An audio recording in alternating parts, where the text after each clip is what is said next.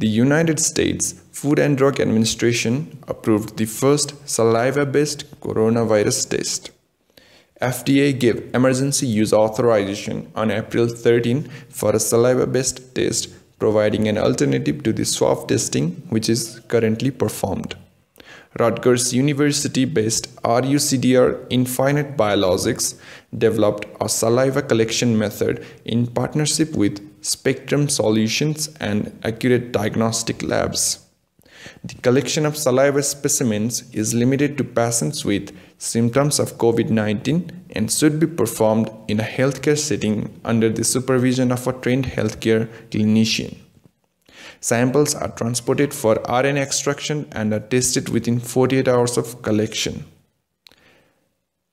Matthew P. Cheng, MDCM of the Division of Infectious Diseases at McGill University Healthcare Center says, if shown to be as accurate as nasopharyngeal and oropharyngeal samples, saliva as a biomatrix offers the advantage of not generating aerosols or creating as many respiratory droplets during specimen procurement, therefore decreasing the risk of transmission to the healthcare worker doing the testing. So the new saliva-based test aims to allow for increased testing and safety for health professionals conducting screening.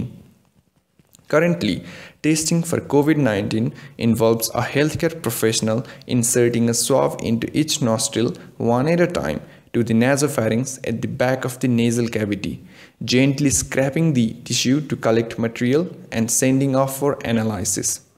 This method is complicated it needs to be done by a qualified worker wearing fresh gloves and other personal protective equipment, which are in short supply now.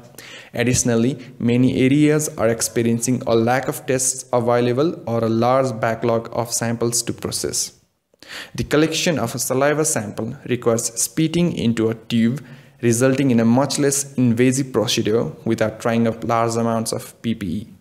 And as per the FDA's instructions, the testing would still occur in a healthcare setting under the supervision of a qualified professional. Andrew Brooks, the Chief Operating Officer and Director of Technology Development at the Rutgers Lab, said, Saliva testing will help with the global shortage of swabs for sampling and increase testing of patients, and it will not require healthcare professionals to be put at risk to collect samples.